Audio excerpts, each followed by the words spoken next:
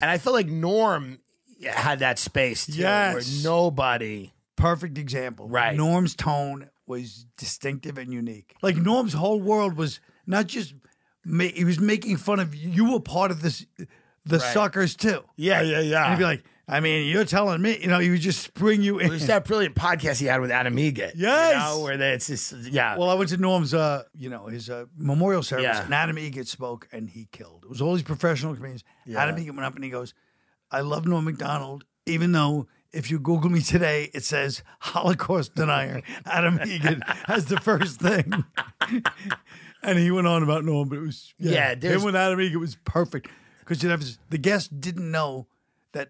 Uh, like half the guests Norm would go, I mean, I agree with you. Not like this guy thinks the Holocaust didn't happen. Holocaust denier. I'm also And the guests would be, look, you could see their angry eyes, like, what?